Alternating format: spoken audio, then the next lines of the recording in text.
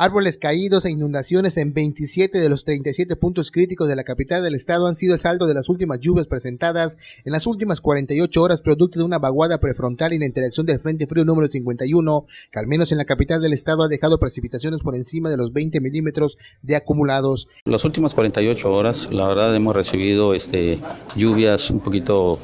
fuertes que han provocado algunos problemas este, dentro de la de la ciudad, como por ejemplo la caída de árboles, por ejemplo en el caso de Antier,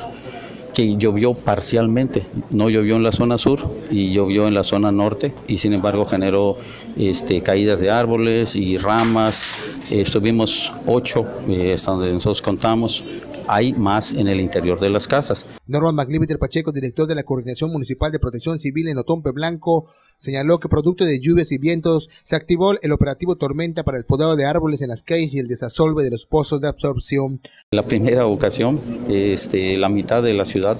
hacia el norte, eh, hubieron afectaciones como 27. El día de ayer